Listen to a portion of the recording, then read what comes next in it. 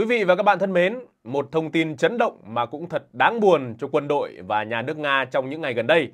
Đó là chỉ nội trong vòng 8 ngày thôi, hệ thống phòng không của Nga đã hai lần bắn hạ nhầm chiến đấu cơ của chính quân mình. Trong đó có cả chiến đấu cơ tiêm kích Su-35S tiên tiến nhất. Chứng kiến cảnh tình này, nhiều blogger và chuyên gia quân sự của Nga đã phải chua chát đăng đàn mà cảm thán rằng với tốc độ hoạt động của các hệ thống phòng không anh hùng như của Nga hiện nay thì chúng ta sẽ sớm mất đi lực lượng không quân của chính mình. Và trên thực tế thì không chỉ trong cuộc chiến khốc liệt giữa Nga và Ukraine lần này mới xảy ra tình trạng lực lượng phòng không Nga bắn nhầm vào máy bay của chính quân mình, mà lịch sử quân sự đã ghi chép tại các trận chiến trong quá khứ, các chiến đấu cơ của Nga từng bị đồng đội của mình bắn hạ cũng không hề ít chút nào. Vậy những tình tiết vừa éo le lại vừa thảm khốc này diễn ra như thế nào? Tại sao giữa lực lượng phòng không và không quân Nga lại cứ hay để xảy ra tình trạng quân ta bắn quân mình như thế? Những tai nạn ngoài ý muốn, tối kỵ và không đáng có này đã và đang bộc lộ điểm yếu chết người gì của quân đội Nga. Các chuyên gia phân tích và nhà bình luận quân sự nhìn nhận về những sự cố tang thương này như thế nào? Bằng chứng phân tích mà họ đưa ra liệu có thuyết phục hay là không? Có quá nhiều tình tiết và câu hỏi cần phải được làm sáng tỏ ở đây. Vậy thì không chần chừ thêm nữa, trong khuôn khổ của video này, Lê Minh xin kính mời quý khán giả cũng hãy đồng hành cùng chúng tôi để làm sáng tỏ vấn đề này. Thực hư chuyện lực lượng phòng không Nga bắn hạ máy bay của chính quân mình. Vụ vô tình bắn hạ quân mình đầu tiên của lực lượng phòng không Nga được cho là xảy ra vào ngày 28 tháng 9 vừa qua tại khu vực tốc mắt rất gần tiền tuyến. Video trực tiếp cho thấy vụ khai hỏa vô tình này xảy ra vào ban đêm. Sau khi trúng đạn, một chiếc máy bay chiến đấu của không quân Nga đã lao xuống đất như một quả cầu lửa được biết, đây là chiếc phi cơ Su-35S tiên tiến nhất của Nga, có trị giá 43 triệu USD tính theo đơn giá của nước sở tại. Còn nếu tính theo giá Su-35 mà phía Nga bán cho Trung Quốc thì một chiếc máy bay như trên có giá lên tới 80 triệu đô. Đây đã là chiếc Su-35S thứ 5 của Nga bị mất kể từ khi chiến tranh bắt đầu. Mặc dù Nga từ chối xác minh công khai tin tức này, nhưng Bộ Quốc phòng Anh cho biết, theo thông tin cập nhật tình báo quốc phòng định kỳ, có độ tin cậy từ 80 đến 90% rằng một máy bay chiến đấu Su-35S của Nga đã bị phá hủy trong ngày 28 tháng 9. Ngày 30 tháng 9, một phóng viên người Anh đã đăng tải bức ảnh trên Telegram được cho là mảnh vỡ của chiếc Su-35 bị bắn rơi. Đây không phải là lần đầu tiên hệ thống phòng không Nga bắn hạ máy bay của chính mình. Theo thống kê của Newsweek, tính đến tháng 8 năm nay, có hơn 1 phần 5 số tổn thất của Nga trên các loại máy bay ở tiền tuyến là do chính phía họ gây ra. Tất nhiên, điều này không chỉ bao gồm các cuộc tấn công vô tình của hỏa lực mà còn bao gồm cả lỗi hệ thống, lỗi do phi công điều khiển, vân vân. Vụ tai nạn chiến đấu cơ thứ hai xảy ra vào ngày 6 tháng 10. Địa điểm xảy ra tai nạn được cho là ở Mariupol. Chiếc máy bay bị rơi lần này vẫn là Su-35 của Nga, nhưng có thể phi công đã thoát nạn. Mariupol cách tiền tuyến hơn 80 km. Hiển nhiên, có nhiều khả năng là chiếc chiến đấu cơ đắt đỏ và tối tân này cũng lại bị hệ thống phòng không của Nga bắn hạ. Các vụ tai nạn máy bay thảm khốc do vô tình bắn trúng quân mình thường xuyên xảy ra ở Nga, cho thấy không có sự xác định rõ về bạn hay thù giữa lực lượng phòng không và không quân tác chiến. Đối với lực lượng phòng không, họ có thể nhìn thấy máy bay bay qua nhưng không biết là chiến đấu cơ của địch hay của mình nên không có gì ngạc nhiên khi xảy ra các vụ tấn công nhầm như vậy. Trong tác chiến, nếu không nhận diện được bạn hay thù thì nguy cơ bị hạ gục bởi chính đồng đội của mình là rất lớn. Trên thực tế, trong các cuộc chiến tranh trước đây, những tai nạn quân sự do chính người dân của nước mình gây ra cũng không phải là không phổ biến. Lấy chiến tranh vùng vịnh làm ví dụ, Xe tăng chiến đấu chủ lực M1 Abrams vốn không gặp sự cố bị kẻ thù tiêu diệt nhưng nó lại gặp sự cố do chính quân mình tiêu diệt. Trong suốt chiến tranh vùng vịnh, Hoa Kỳ cũng đã phải chịu tổng cộng 35 người thiệt mạng do hỏa lực, chiếm 24% tổng số thương vong. Điều này chủ yếu là do khoa học công nghệ những năm 1990 không thể so sánh với ngày nay. Khi đó, hệ thống định vị toàn cầu vẫn là một sản phẩm hoàn toàn mới lạ và tên lửa hành trình Tomahawk của Mỹ cũng chỉ mới được đưa vào sử dụng mà thôi. Lấy một ví dụ khác từ chiến tranh vùng vịnh. Trong cuộc chiến này, Mỹ đã điều động nhiều tàu sân bay phối hợp hoạt động với không quân, hải quân sử dụng máy bay chiến đấu F-14 Tomcat. Hình dáng đẹp đẽ và vẻ ngoài hào hùng, chúng cũng được tất cả những người hâm mộ quân đội yêu thích.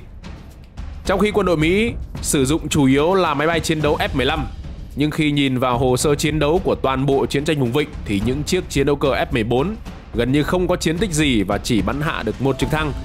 Trong khi đó F-15 của không quân Mỹ bắn rơi 34 máy bay của quân đội Iraq.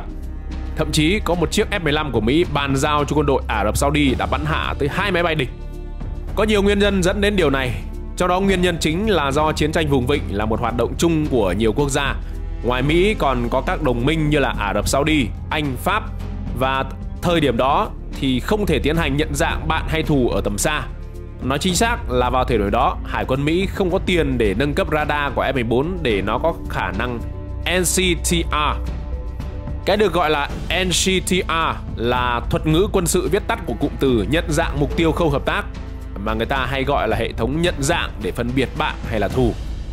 Chiến đấu cơ F-14 chỉ có thể tấn công mục tiêu sau khi xác nhận nó bằng mắt thường.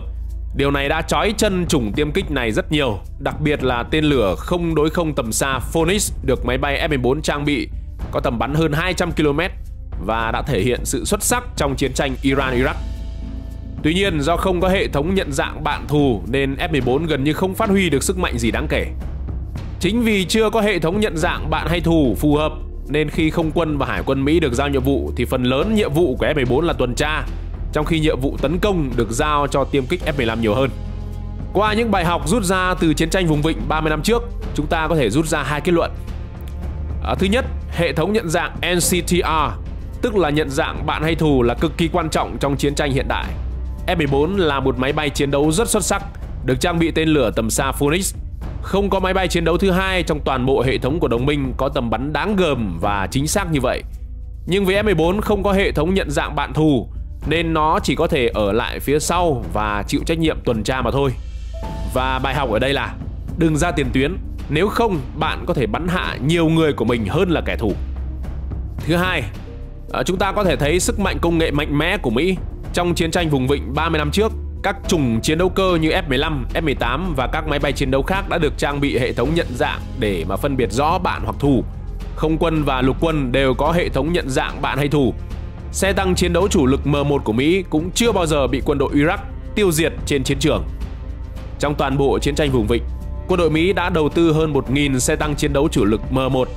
Chỉ có 23 xe tăng bị hư hỏng, trong đó có 9 xe bị phá hủy hoàn toàn và không thể sửa chữa 9 xe tăng này không phải là do bị quân Iraq bắn 7 xe trong đó bị phá hủy là do vô tình bị lực lượng quân đồng minh tấn công Hai chiếc còn lại thì mắc kẹt trong cát trong trận chiến và không thể di chuyển, không thể giải cứu và đã bị chính quân đội Mỹ cho phá hủy để không rơi vào tay kẻ địch.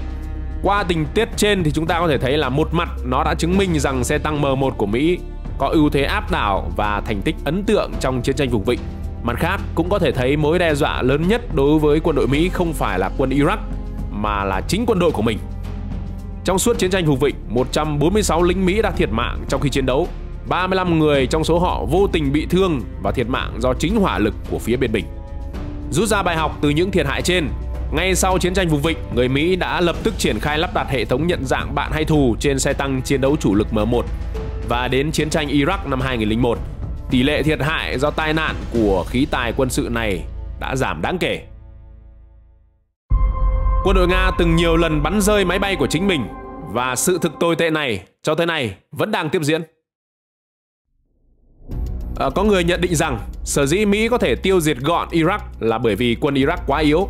À, tuy nhiên, khi Nga tấn công Chechnya thì Chechnya cũng là một khu vực nhỏ yếu à, với lực lượng nhỏ yếu Vậy mà quân đội nước này phải hai lần tấn công mới đánh bại được phiến quân Chechnya.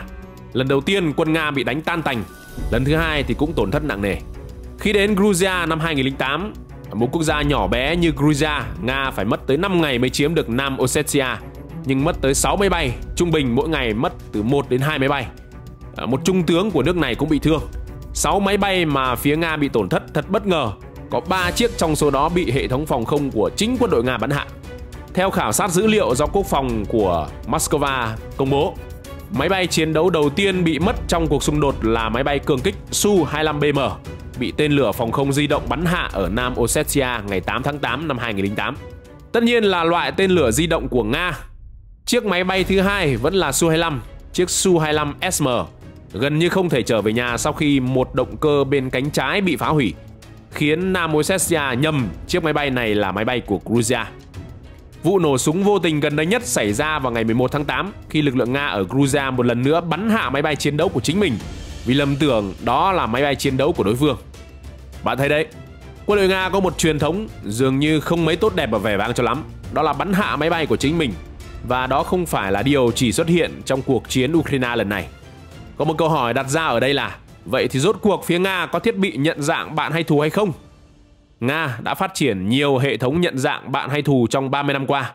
Tuy nhiên có một vấn đề là Nga rất có thể không có đủ kinh phí để trang bị cho quân đội của mình hệ thống nhận dạng này trên quy mô lớn, đặc biệt là lực lượng phòng không của lục quân.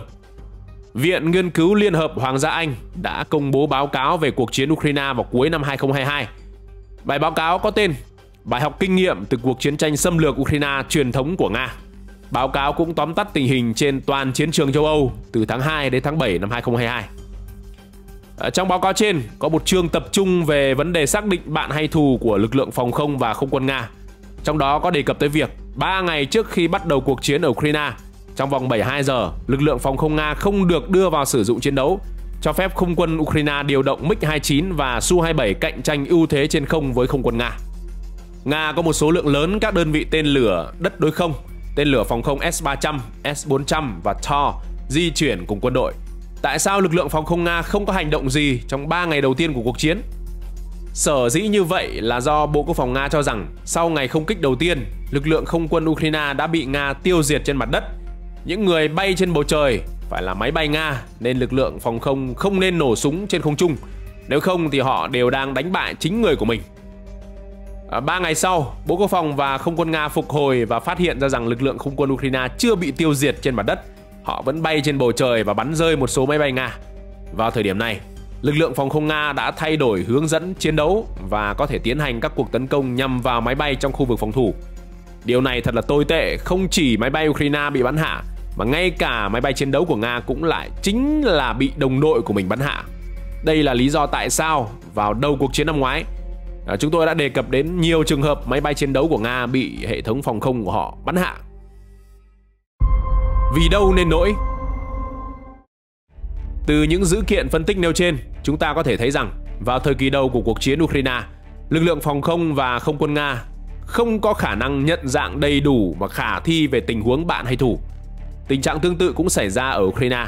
Báo cáo của Viện Nghiên cứu Liên hợp Hoàng gia Anh cũng đề cập rằng lực lượng phòng không của không quân Ukraine cũng không thể xác định được liệu chiến đấu cơ đang bay trên không là của phía Nga hay là của Ukraine. Vì vậy, phương pháp được Ukraine áp dụng là phòng thủ theo từng phần. Ở một số khu vực, nhiệm vụ phòng không được giao phó hoàn toàn cho lực lượng phòng không mặt đất và không quân sẽ không tham gia. Trong khi ở những nơi khác, không quân Ukraine sẽ chịu trách nhiệm đánh trận. Vì vậy, sau chiến tranh, mọi người phát hiện ra một tình huống trên không phận Ukraine, số lượng máy bay Nga điều động ngày càng ít hơn. Sau này, không quân Ukraine cũng không sử dụng nhiều máy bay nữa. Dù sao không ai có thể biết là ai đang bay trên bầu trời. Vì vậy mọi người đều ngừng bay. Đây là một tình huống rất thú vị trong chiến tranh Ukraine thưa quý vị. Rõ ràng từ chiến tranh Chechnya, chiến tranh Georgia đến chiến tranh Ukraine hiện tại, lẽ ra thì Nga nên phát triển và đưa vào sử dụng hệ thống nhận dạng bạn hay thù trong lực lượng không quân. Nhưng hệ thống nhận dạng này giữa lực lượng phòng không và không quân có lẽ hoàn toàn không tồn tại trong quân đội của nước này.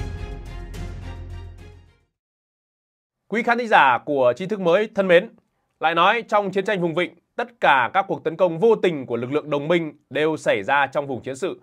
Tuy nhiên, các cuộc tấn công vô tình theo kiểu quân ta bắn quân mình xảy ra ở Nga lần này không phải ở vùng chiến sự mà lại là nằm trên lãnh thổ của Nga. Chiến tranh vùng vịnh diễn ra cách đây 30 năm, trình độ tác chiến điện tử chưa như bây giờ. Tuy nhiên, dù truyền thông đã đưa tin rõ ràng rằng phía Nga ít nhiều có hệ thống nhận dạng là bạn hay thù, thì những cuộc tấn công vô tình như vậy vẫn xảy ra. Điều đó đủ để chứng minh rằng thứ nhất, Nga tuyên truyền sai lầm. Thứ hai là trình độ chiến đấu thực tế của Nga yếu kém đến mức độ nào. Quý vị và các bạn thân mến, do khuôn khổ thời lượng có hạn nên câu chuyện luận đàm Đông Tây của chúng tôi kỳ này xin tạm khép lại tại đây. Về chủ đề này, quý vị có suy nghĩ và cảm nhận như thế nào? Xin hãy để lại bình luận ở phần dưới của video. Và nếu đây là lần đầu tiên quý vị xem chương trình này, vậy đừng quên bấm đăng ký theo dõi kênh tri thức mới của chúng tôi để luôn cập nhật những thông tin mới mẻ, thú vị và bổ ích. Lê Minh xin chào và hẹn gặp lại.